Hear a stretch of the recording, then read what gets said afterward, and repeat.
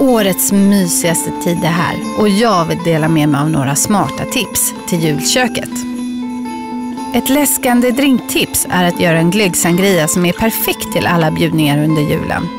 Blanda glögg, socker, apelsinjuice, tranbärsjuice med massor av is i en stor skål. Skiva och lägg i citrusfrukter och karamboll. Det blir en god och fräsch drink till festen. En hemgjord glögg gör man enkelt genom att värma ett gott rött vin med socker och glöggkryddor. En rolig och levande juldekoration är att göra en girlang av pepparkakor. Hemma hos mig brukar jag göra cowboys med hål i, som jag sen trär upp på ett snyggt band.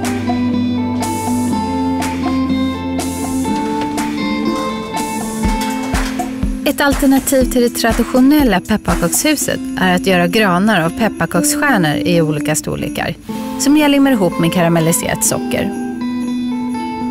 Och så pudrar jag på ett snötäcke av florsocker. Och jag brukar ställa dem på köksbänken på ett tårtfat under en glaskupa. En smart dessert att göra när man har många gäster är en trifle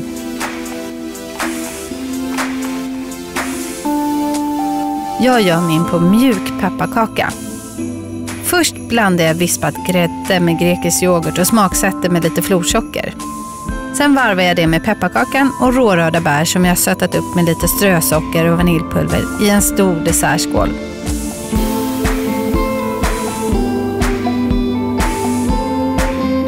Det översta täcket av yoghurtmoussen garnerar jag med färska bär och fikon. Superenkelt och världens godaste dessert.